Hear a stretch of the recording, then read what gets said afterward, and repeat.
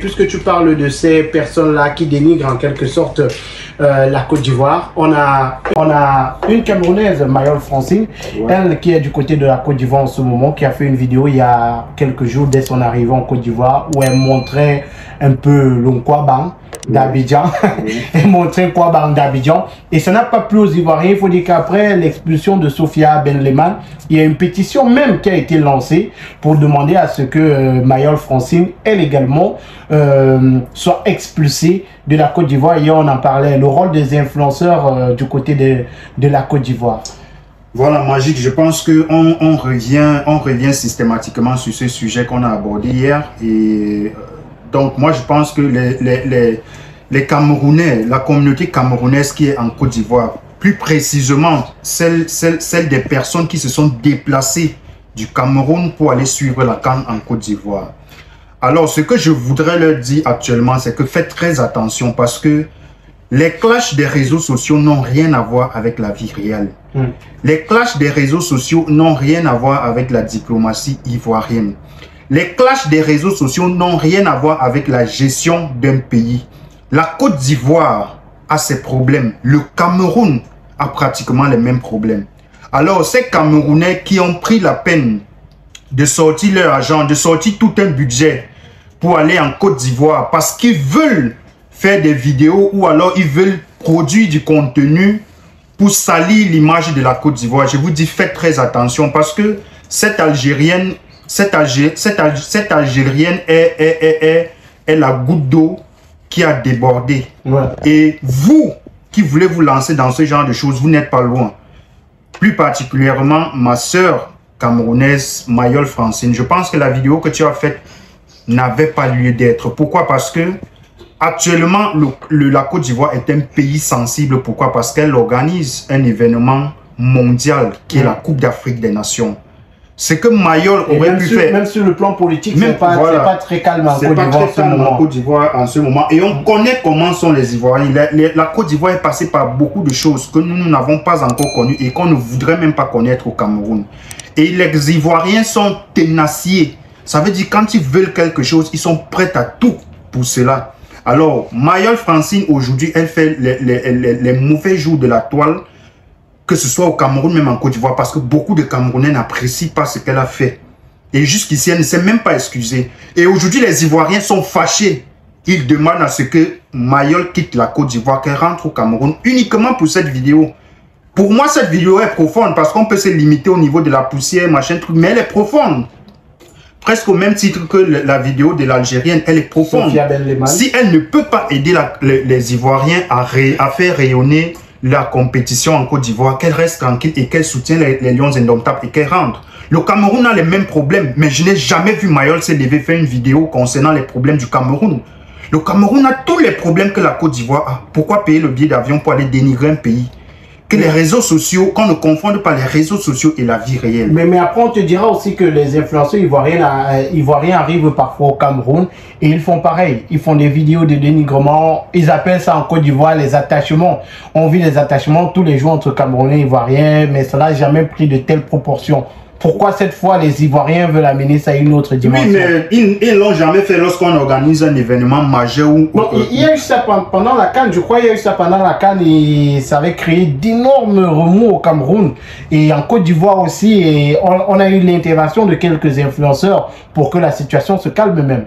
Oui, mais moi je ne voudrais pas qu'on entre dans ce jeu. Magic, parce qu'après ça peut coûter cher. Parce que elle, par exemple, Mayol Francine, elle c'est une influenceuse entre guillemets. Après, ça peut lui bloquer des contrats, ça peut lui bloquer des ça, peut lui bloquer des collaborations entre guillemets parce que je ne sais pas en quoi est-ce qu'elle influence parce que je ne sais pas quelle est sa spécialité dans l'influence qu'elle fait.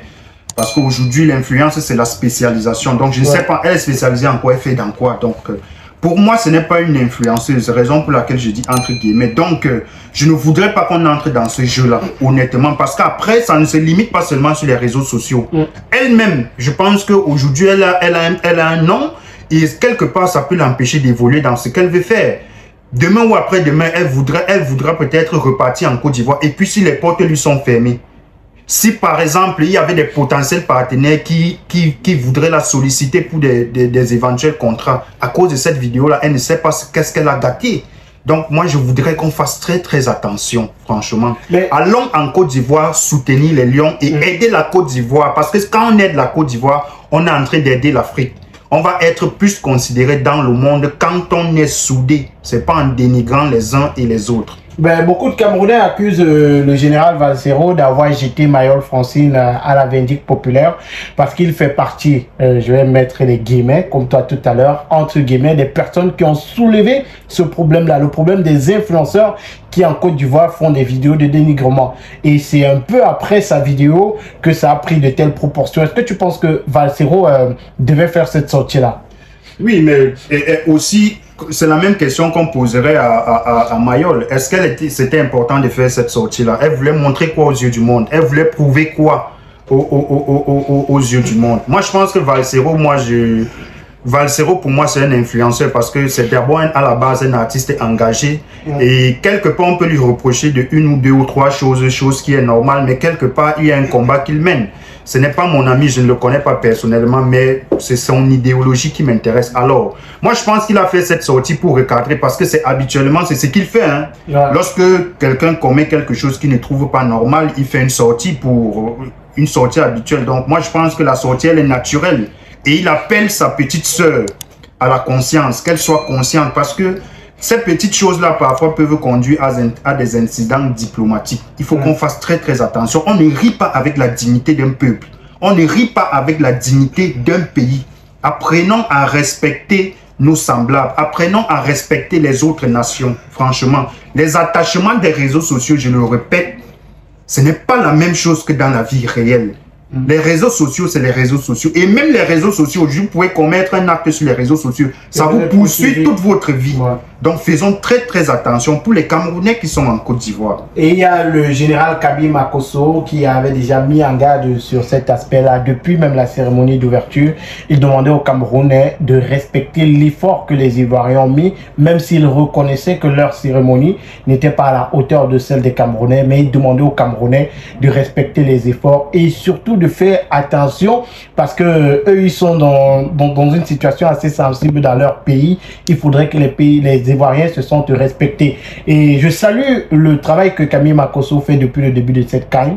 Il faut dire qu'il est celui qui met en garde depuis le début de cette canne, que ce soit du côté de Cocan, la Fédération ivoirienne de, football ou encore même les Camerounais. Il demande d'être respectueux avec les Ivoiriens pour éviter qu'on arrive à, ce genre de situation. Peut-être pour sortir de ce sujet, euh, Mayol Francine serait-elle en, danger en Côte d'Ivoire? Au moins, elle est en danger parce que hormis le fait qu'elle qu'elle peut être euh, expulsée, il y a le fait qu'elle peut être attaquée par des Ivoiriens. Parce qu'aujourd'hui, son image circule énormément, énormément, autant pour moi.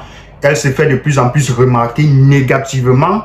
Et on sait à quel point, lorsque la dignité d'un pays est bafouée lors d'un événement comme celui-ci, on sait quel, à quel niveau est-ce que ça peut révolter les uns et les autres. Donc, elle peut être en train de circuler dans la rue, elle se fait agresser uniquement pour ce genre de choses. Et pourtant, ce n'était pas prévu. C'est elle qui aurait provoqué. Donc, Mayol Francine, de grâce, tout ce que moi je te demande de faire actuellement, c'est de demander pardon au peuple ivoirien. Et si tu veux aider les Ivoiriens, si tu veux, faire quelque chose pour eux, fais des vidéos, crée des contenus qui montrent le bon côté et les belles images de cette canne où tu te retrouves actuellement en Côte d'Ivoire. Dans tous les cas, on va saluer tous nos influenceurs, les influenceurs camerounais qui se trouvent du côté de la Côte d'Ivoire pour soutenir, accompagner les Lions indomptables dans cette campagne pour euh, la sixième étoile sur notre maillot. Pourquoi pas